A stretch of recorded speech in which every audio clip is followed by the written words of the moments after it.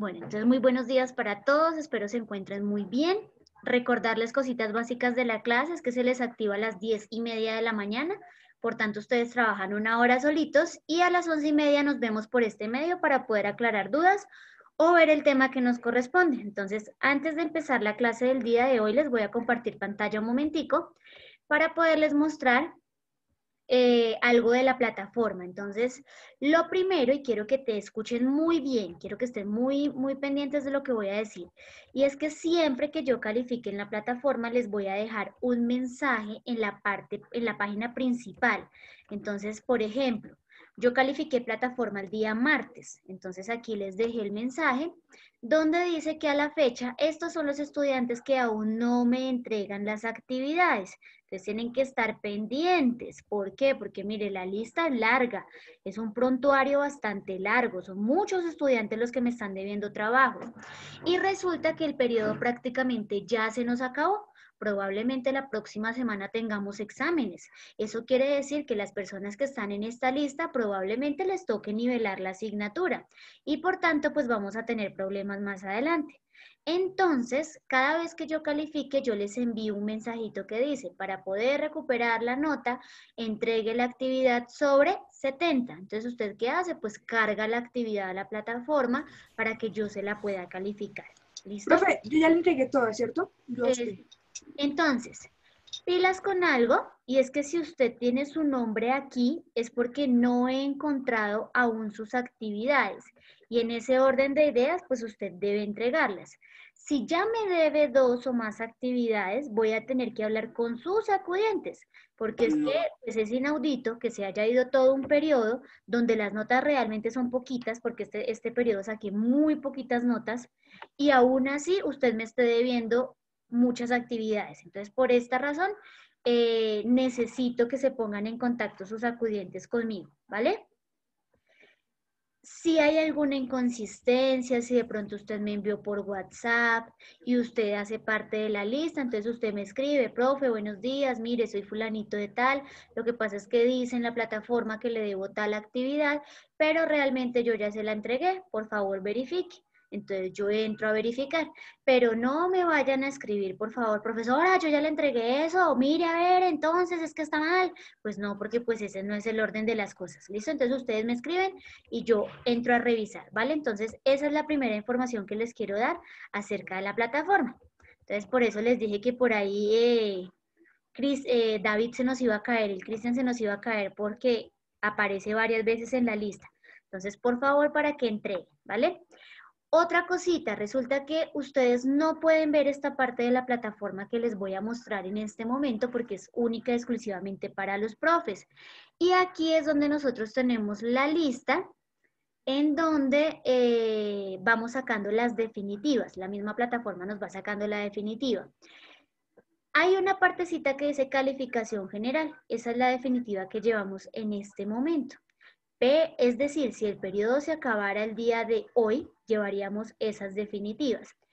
Preocupante que hay estudiantes que ingresan a clase pero que no me envían las actividades. Entonces, pues no estamos haciendo nada, porque recuerde que usted ingresa a la clase y de inmediato o en la medida de lo posible, pues entrega la actividad para que entre a revisión y pues yo pueda poner la nota. A mí de nada me sirve que usted entre a clase sin que entregue actividades, o de nada me sirve que entregue actividades sin entrar a clase. Entonces, las dos cosas van de la mano, ¿listo? Voy a ir bajándolas como muy suavemente para que ustedes las vayan observando, pero me preocupan de sobremanera esas notas de 37, de 35, de 1. Es un estudiante que nunca me ha enviado actividades. Y si mal no recuerdo, es un estudiante que también quedó debiendo el periodo pasado. Entonces vamos a tener problemas. Y Profe, lo sacaron. Ah, ¿él lo sacaron? Ah, fue mal, ah, razón. ¿A Fajardo? ah, no, a Fajardo no. No se la ah, pasa Free Fire. Ah, no, yo hablo de Fajardo. Miren, Fajardo tiene la nota en uno. De las cinco notas que llevamos, no me ha entregado ninguna. Eso quiere decir que lleva la nota en 10 y eso va a ser un problema más adelante. Yo por eso en este momento lo que estoy haciendo es mostrándoles las notas que ustedes llevan para que ustedes me puedan entregar los trabajos que me deben y yo poder entrar a revisarlos. ¿listo? Porque si ah, es complicado, me preocupan notas de 1, notas de 39, notas de... ¿De qué? de 25, de 37, todas esas notas me preocupan. Hay unos que están cerquita, hay otros que están muy lejos de la nota como tal y por eso necesito que se pongan en contacto conmigo los acudientes para yo poderles brindar una solución antes de que se termine el periodo. ¿Listo? Entonces, ahí están sus notas, esa es más o menos la definitiva que ustedes llevan. Digamos, creo que por ahí no sé si alcanzó a entrar eh, Sánchez. Samuel lleva la nota en 20. Entonces, todo ese tipo de situaciones me preocupan. Mariana lleva la nota en 1. Entonces, para que por favor se me pongan las pilas a entregar todo lo que me deben, ¿listo? Para ello, porfa, que su acudiente se ponga en contacto conmigo y miramos a ver qué solución encontramos, ¿listo? Sin embargo, si usted quiere entregarlo, hágalo. Yo califico plataforma el martes, pero si de aquí al martes su nota sigue igual de bajita, pues ya me tocará tomarme la molestia de llamar a sus acudientes para que ellos sean quienes me ayuden. ¿Listo? Eh, bueno, por otro lado, resulta que ustedes pueden ver aquí que hay frasecitas que dicen sin presentar y hay otra que dice entrega tardía, entonces, y hay otra que está vacía. La que está vacía es porque se entregó a tiempo, entonces no hay problema. La que dice entrega tardía fue porque se, se, envió después de la fecha que se estipuló para entregar la actividad, pero igual tiene su calificación. Y hay otra que dice sin presentar. Entonces, al tener esta sin presentar es porque esa actividad no ha sido enviada. Quiere decir que debe o volver a cargarla o debe cargarla para que entre el proceso de calificación. ¿Listo? Entonces, esas que están sin presentar. Como ustedes no pueden ver esta parte de la plataforma, regálame un segundo, hijo. Como ustedes no pueden ver esta parte de la plataforma, entonces, ¿cuál es mi recomendación?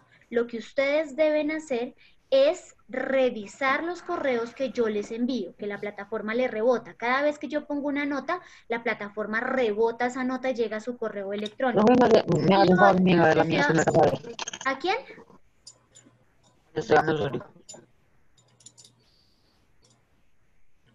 Y lo otro, no te entendí, hijo. Y lo otro es que, por favor, eh, tengan en cuenta qué es lo que me están debiendo para que lo puedan enviar. ¿Listo? Tengan en cuenta la lista. Me deja, ver la mía, que no la alcanza a ver. Mi amor, pero si la bajé lo más lento que pude, toca que estén pendientes, hijo. Ah, ahí está Juan Esteban Osorio, la llevan 87. Listo, entonces, la idea cuál es que ustedes estén pendientes del proceso que se lleva. Entonces, para eso ustedes van a estar pendientes de qué? De la lista que está en la parte principal de la plataforma. Alan, cuénteme. Listo, profe. Ahí en las calificaciones a mí me parecía como sin entregar, ¿cierto? Y la, nota. En eso a mí no me afectaría porque yo la mandé en WhatsApp. No le afecta porque ya está la nota. Desde que se la ah, listo. no afecta nada. Bueno, entonces, para la clase de hoy, entonces vamos a tener la clase que se llama fórmulas y en esta clase de fórmulas entonces usted debe resolver los ejercicios de estado de oxidación propuestos en clase que los vamos a resolver entre todos. Entonces, ¿cuál es la idea? Que terminemos de resolver los ejercicios que estábamos resolviendo en la clase pasada. Inaudito, la clase del lunes solamente era enviar apuntes y solamente me enviaron 15 personas apuntes. El resto, ni idea. Entonces, ahí verán si la nota quieren que les queden uno, ¿listo? Entonces, lo primero que vamos a hacer el día de hoy es terminar de resolver esos ejercicios. Y lo segundo que ustedes van a hacer es investigar qué es una fórmula química y cuál es su importancia. De esto, vamos a ver si alcanzo a hacer un abrebocas pequeñito de qué son las fórmulas y cómo se trabajan. Si no, pues usted igual tiene que investigar qué es una fórmula química y cuál es su importancia, ¿listo? Eh, por otro lado, a las 3 de la tarde se les va a activar esta clase que se llama experimento.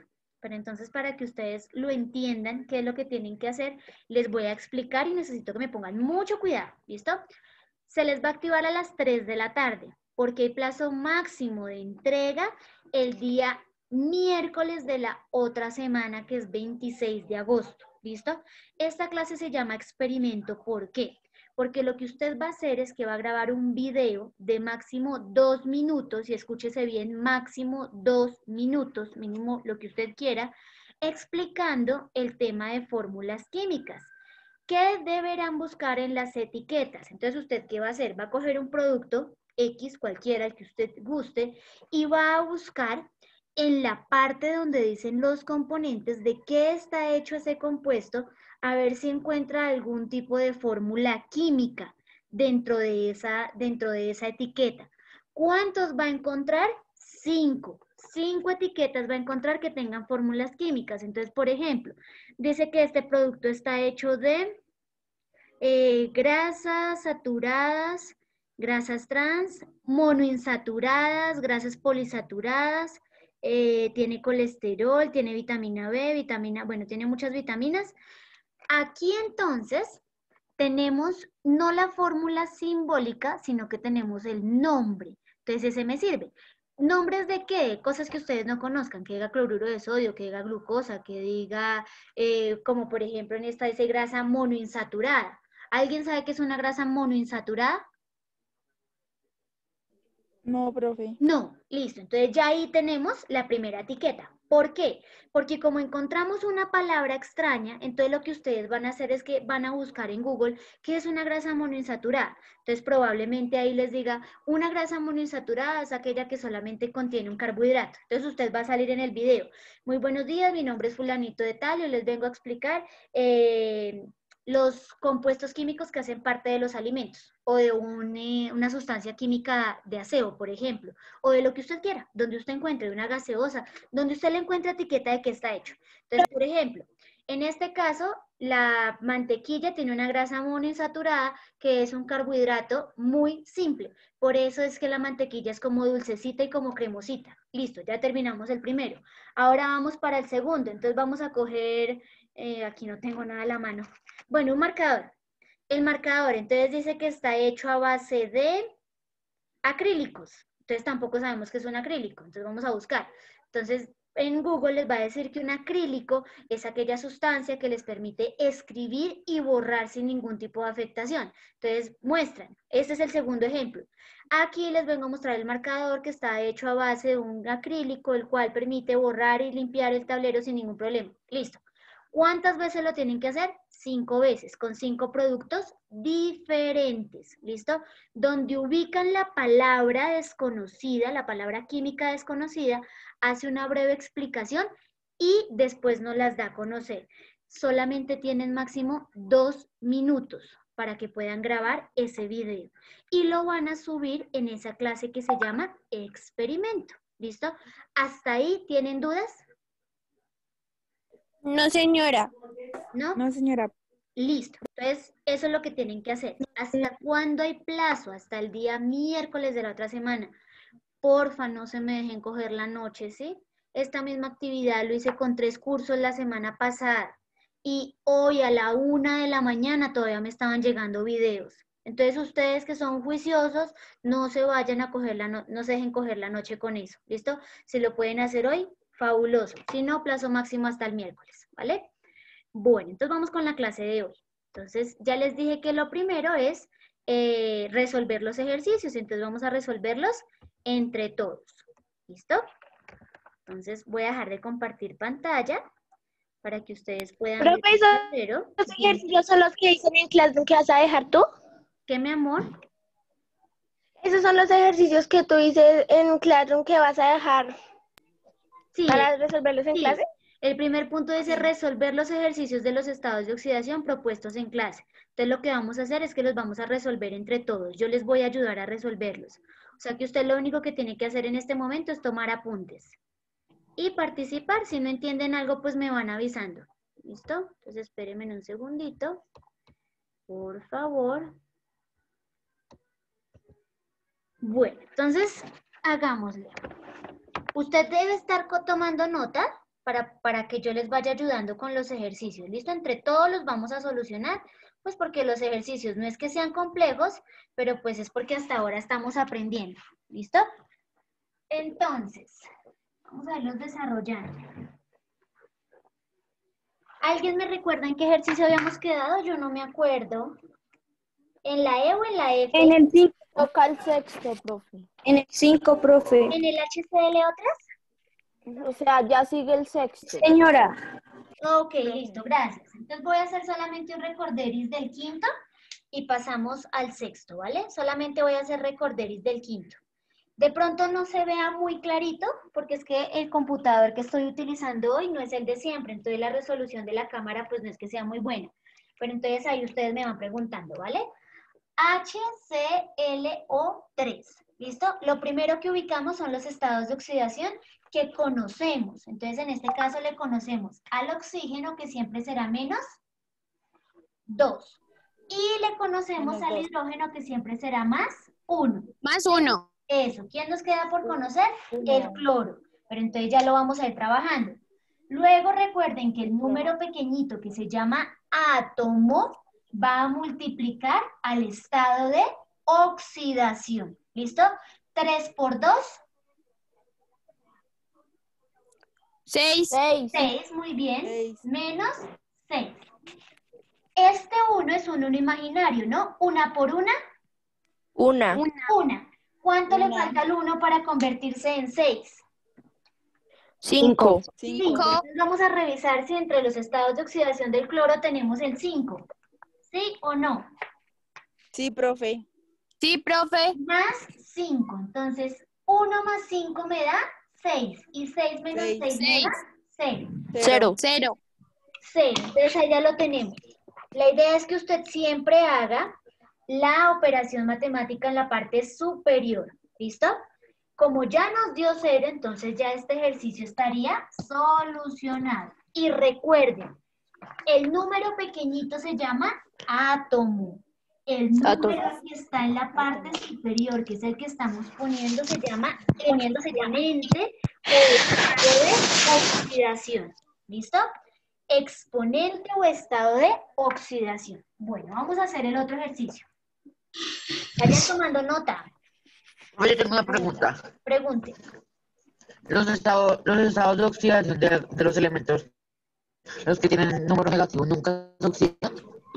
Los que tienen número negativo, ¿qué amor? Nunca se oxidan.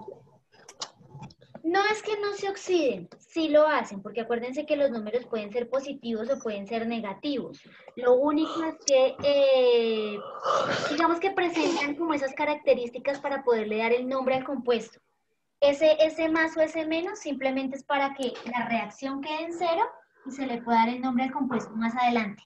Pero no tienen, digamos, nada que ver con la, con la rapidez en la que se dañan las cosas. Ahí no, no afecta. Bueno, sigamos. Este es el sexto. H3BO3. Vamos entonces con el estado de oxidación del oxígeno, que siempre será menos. Dos. Dos. El hidrógeno siempre será más. Uno. Uno. Más uno. Y el boro es el que vamos a conocer. Entonces siempre multiplico Menos 3 por tres. 2, Seis. 6. Menos 6. 3 por 1, Tres. Tres. 3. ¿Cuánto le falta el 3 para convertirse en 6? Tres. Tres. ¿Y el boro trabaja con el estado de oxidación 3? Sí, señora. Sí. Eso quiere decir que 3 más 3 me da Seis. 6. ¿Y 6 menos 6 es? Cero. Cero. Y este ejercicio entonces ya también estaría resuelto. Si ustedes se dan cuenta, entre más practicamos, más fáciles se van volviendo y es porque más rápido les vamos cogiendo la rutina de trabajo. Bueno, vamos a hacer el séptimo. Entonces el séptimo es NH4. NH4. Entonces, conocemos el estado de oxidación del nitrógeno. Tiene cuatro estados de oxidación, está difícil. ¿Conocemos el estado de oxidación del hidrógeno? Sí, señora. El hidrógeno es más uno. Uno. ¿Cierto? Listo. Entonces, para conocer el del nitrógeno sin tener que hacer los estados de oxidación, primero voy a hacer la multiplicación y luego reviso en la tabla. 4 por 1, Cuatro. Cuatro. 4. Pilas porque es un más 4, ¿no? O sea que obligatoriamente el nitrógeno tiene que ser negativo. ¿Cuáles son los estados de oxidación del nitrógeno? Más menos uno. Dos más menos Menos tres, tres, cuatro, cuatro, cinco. Más cuatro más cinco. Y me dijeron que podía hacer un más menos y lo necesito negativo. Por eso le voy a poner el menos 4. Para que 4 menos 4 me dé Cuatro.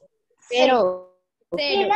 Pilas, con la ubicación, porque no le puedo poner el 4 negativo aquí adelante, porque entonces no me daría la resta. Por eso lo que estoy haciendo es que los estoy ubicando.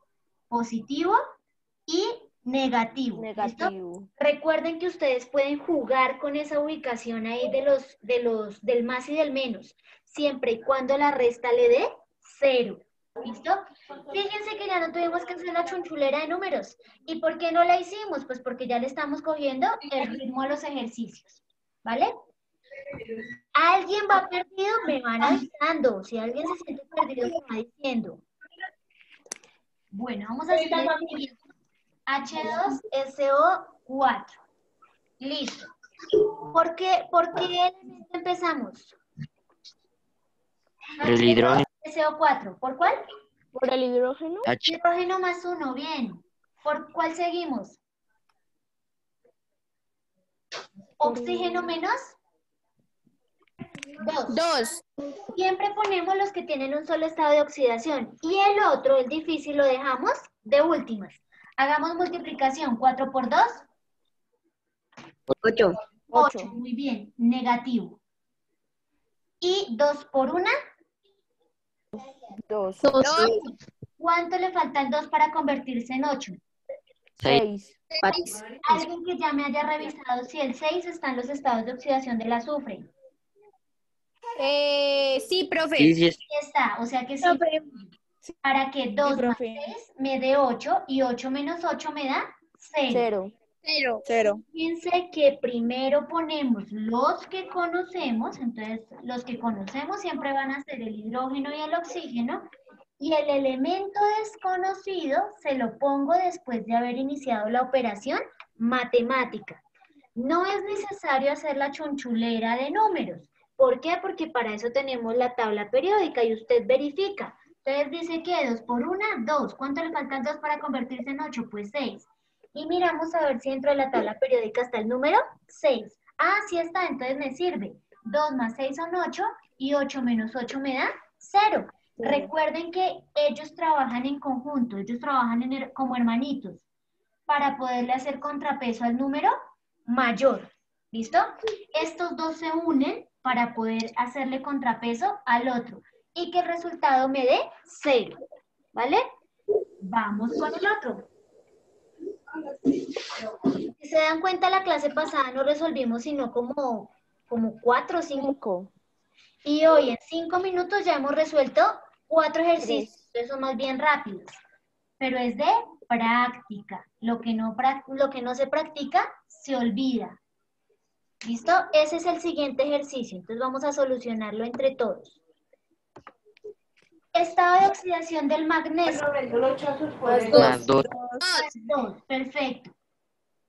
Estado de oxidación del nitrógeno. Tiene muchos, entonces empecemos la Dos más menos 3 por 2, Seis. 6.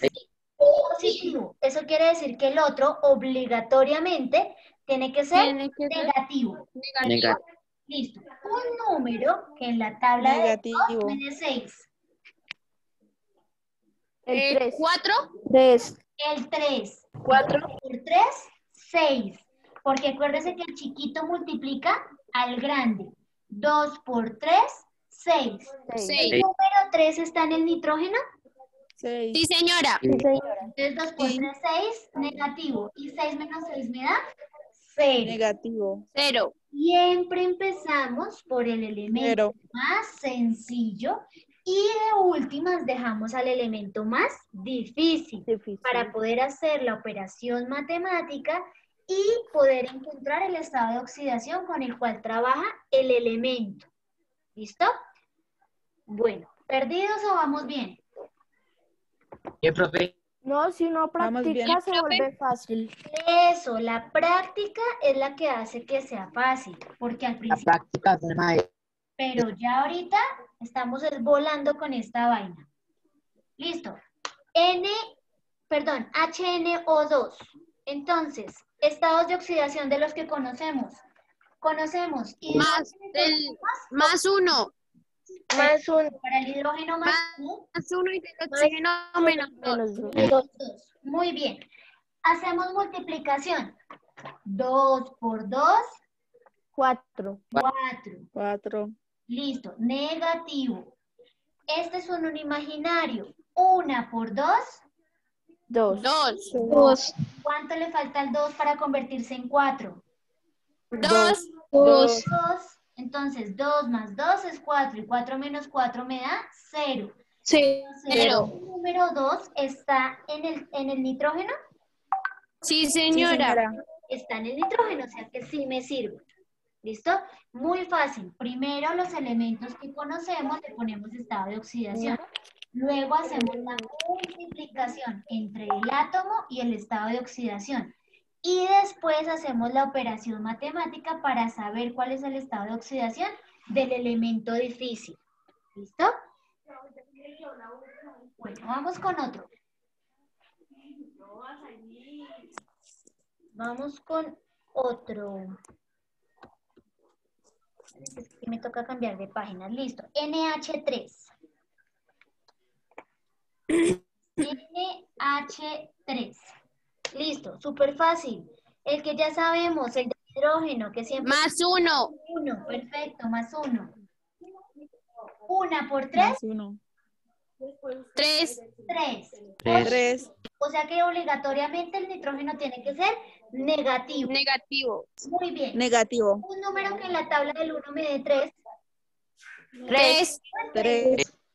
menos 3. Y 3 menos 3 me da 0. Cero. Cero. Le dije que un número que en la tabla del 3, perdón, del 1 me diera 3, porque acuérdense que aquí hay un 1 imaginario.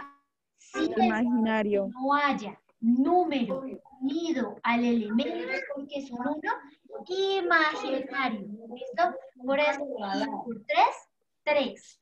Y 3 menos 3 me da 0. Cero. Recuerden otro truquito. Cero. Recuerden que esto siempre trabaja en. El número el que está aquí está acá abajo. Eso es muy poquito. Siempre los estados de oxidación van a trabajar en X con los átomos. ¿Por qué tienen que estar en cero las, las, las sustancias? Porque las sustancias tienen que estar equilibradas. Si una sustancia no se encuentra equilibrada, puede ser peligrosa en el momento en el que la manipulemos. Puede quemar, puede estallar, puede ser tóxica. Es un 3. Gracias, mi amor. Puede ser tóxica, puede ocasionarnos algún tipo de daño, entonces por eso las sustancias siempre tendrán que estar equilibradas a cero. ¿Listo? En caso tal de que la operación matemática no dé, así como nos pasó la clase pasada con alguno de los ejercicios, pues simplemente le escribimos no se puede. ¿Listo? Pero si ustedes se dan cuenta, el 90% de las reacciones son equilibradas. ¿Listo? Vamos con el último. Más uno. Más uno. Menos dos. Menos dos. 3 por 2, Seis. Tres. 6 negativo. B6. Muy bien. 2 por 1, Dos. ¿cuánto le Dos. dos para convertirse en 6? Cuatro. Cuatro. ¿Se trabaja con 4? Sí, señora. Entonces me daría Sí. que 2 más 4 es 6 y 6 menos 6 me da 0. Cero. ¿Listo? Por ahí Cero. decía hace un momento, la práctica hace al maestro. Entre más practiquemos el trabajar con estados de oxidación, más fácil será el trabajo, ¿listo? Pero si simplemente lo aprendemos y nunca lo volvemos a practicar, pues ahí es cuando se olvida, ¿vale?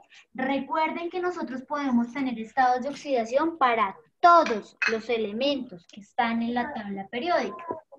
Si hay un elemento de la tabla periódica que aparece solito, como en este caso el cloro, el estado de oxidación cero. Esa es una regla que tienen que aprender. Si el elemento está solito, el estado de oxidación será cero. ¿Listo? Profe, en el cloro, en la tabla periódica, no está el estado de oxidación cero. Y en ningún elemento lo van a encontrar, porque es una regla. Siempre que el elemento esté solito, miren que no tiene ni átomo, ni tiene número grande, no tiene nada más, entonces el estado de oxidación será cero. ¿Ahí me Cero. Sí, señora. Listo. Entonces, si hay un, hay un elemento, por ejemplo, como este, el fósforo. ¿Cuál es el estado de oxidación del fósforo? Más menos Ah, ah. tres. Más menos 3 más 5. 4 y ¿Qué te 5. acabo de decir? Cero. No, más menos 3 más 5. Cero. Más menos tres y por lo que no tiene número grande nada. Solo. El elemento está solito y siempre que los elementos estén solos, el estado de oxidación va a ser cero. Cero. ¿Cómo así que estén solos, profe? O sea, que... Que no tengan, No tengan Tengan un número debajo de Ah, ok, ok. Listo, vamos con este. ¿Cuál será el estado de oxidación del bromo? cero. Cero. Cero. Pero también está solo. solito. Eso ni siquiera los buscamos en la tabla. Y es porque si el elemento está solo, el estado de oxidación siempre será cero. ¿Listo? ¿Cuál será entonces el estado de oxidación del elemento rodio? Cero. Cero. Perfecto. Cero. Muy bien, ya la cogieron. Si el elemento está solo, el estado de oxidación es cero. Pero, pero, Cero. si está en compuesto, es decir, si hay dos o más elementos unidos, ahí sí tenemos que sacar estados de oxidación. En este caso estoy poniendo el cloruro de sodio, NaCl. Aquí sí necesito estados de oxidación de los dos elementos. ¿Cuál es el que está más sencillo de solucionar? ¿El sodio o el cloro? ¿Cuántos estados de El sodio. El ¿Cuál es? El sodio porque es más 1. Uno. Más uno. Estados Más de 1. del cloro. Eh, más menos 1 más, más 3 más 5 Más más 7. menos. Ahí ya la encontramos, porque una Más una. menos. Y un número que en la tabla del 1 me dé 1, pues 1. Entonces, No. 1, ¿me da? Uno. Cero. Cero. 0. ¿Qué me interesa, hijos? Miren, siempre que haya un elemento, solo el estado de oxidación será 0. Pero si ese elemento está en compuesto, es decir, que hay dos o más elementos que conforman ese compuesto, ahí sí me remito a la tabla periódica para buscar el Periódica. estado de oxidación. ¿Listo? Bueno, ¿Por qué son tan importantes trabajar los estados de oxidación o aprenderlos a trabajar? Porque resulta que estos son los que nos permiten darle los nombres a los compuestos. Y más adelante, cuando ustedes estén en octavo, ya no les va a dar duro la nomenclatura porque ya saben trabajar estados de oxidación. ¿Listo? Pero siempre que se trabaje algo que se llama la nomenclatura, que es el darle el nombre a un compuesto, también se debe trabajar eh, algo que se llama una fórmula. Entonces ahí voy a hacer un introductorio para el tema que debemos ver hoy. Entonces, una fórmula química es una representación gráfica de dos o más elementos.